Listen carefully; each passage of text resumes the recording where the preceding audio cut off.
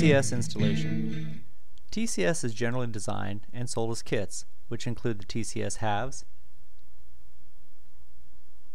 and straps with tabs to secure the cable tray. And the cable tray is provided. Notice that the tabs must be aligned during installation to allow the cable tray to snap into place. The kit also includes installation instructions and a warning plate, as well as assembly drawings which show a 3D image of the kit, system layout showing physical dimensions, the TCS half specifications such as voltage and power rating, and a kit bill of material. Junction boxes are also provided for electrical connection, and one box is required for each TCS section. They are secured in place using slots on the underside of the box and the existing TCS straps.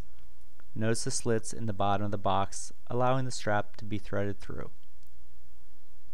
Contained in the junction box is a terminal block, rated appropriately for the application.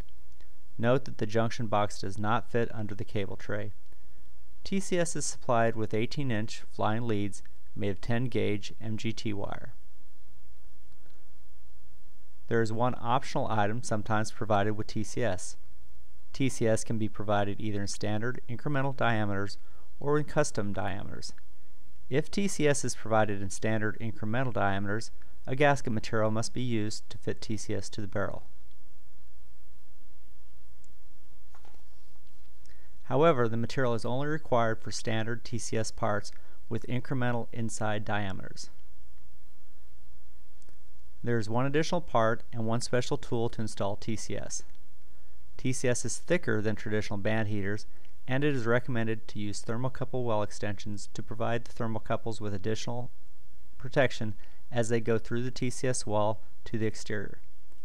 Notice that the penetration from the exterior to the barrel is through the seam of the two TCS halves, which is approximately 83 millimeters or 3.25 inches, and as such, it is recommended to use extensions that are 90 to 100 millimeters long or 3.5 to 4 inches. These extensions should easily be purchased from your current parts vendor. Thermocouple access will be cut during the installation process to allow the TCS halves to be positioned exactly as required to provide a snug fit between adjacent TCS sections without any gaps which would cause heat loss. It is recommended to use a file or a drywall tool, though if done carefully, an appropriately sized threaded fastener will work. It is also best to have some coarse sandpaper available to adjust the diameter TCS, which is easily sanded if necessary to provide a better fit. Installation of TCS is fairly straightforward. There are 13 steps in the installation process. The first step is removing the traditional band heaters, and standard lockout tagout procedures should be followed. The barrel surface should be cleaned, but a perfectly smooth surface is not necessary. A safety document detailing safety procedures is also included in the kit. Replace the thermocouple adapters with the longer version discussed earlier. Again, these are not included with the TCS kit.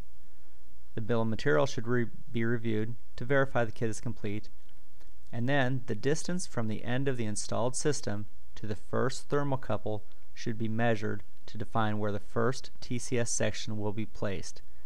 Be sure the area is clear of any hardware, such as bolt heads, that may interfere with the TCS section. Prior to cutting the thermocouple penetrations, be sure to position all four flying leads of the two TCS halves on the same side of the barrel.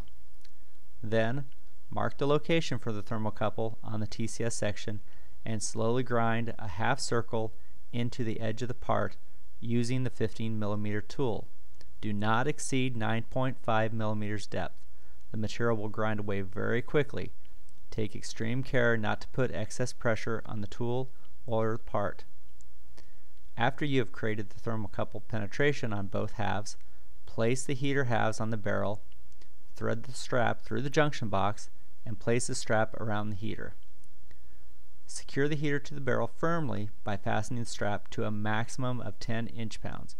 Over-tightening can cause damage to the heater.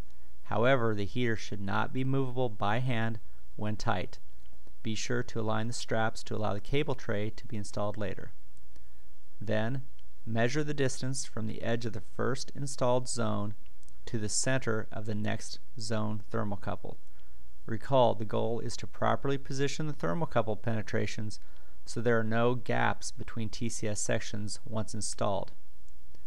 Per step 10, repeat the process for each zone, minimizing any gaps between adjacent sections. Step 11 is associated with the electrical connections and calls out the need to note the voltage printed on each heater half and also specified in the kit drawings to determine if the heater halves must be wired in series, which is the case when the zone voltage is twice that of the marked heater voltage, or in parallel, which is the case if the zone voltage is equal to the marked heater half voltage. TCS must be wired in accordance with voltage rating. An incorrect wiring approach will result in accelerated failure or a lack of adequate power for the application. Step 12 shows the process for making the electrical connections. And step 13 demonstrates how to snap the cable trays onto the tabs provided on the straps.